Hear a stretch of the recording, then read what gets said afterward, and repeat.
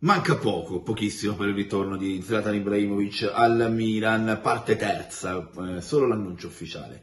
Ma questa volta non più come attaccante o come giocatore in grado di trascinare la squadra dentro al campo, ma fuori. Perché da quello che abbiamo capito, l'accordo che è stato trovato martedì scorso con, eh, nell'incontro con, con, Cardinale prevede, non prevede l'inserimento, eh, almeno al momento, eh, nel, nell'organigramma societario del Milan. Allora, quale sarà il ruolo di, di Zlatan Ibrahimovic?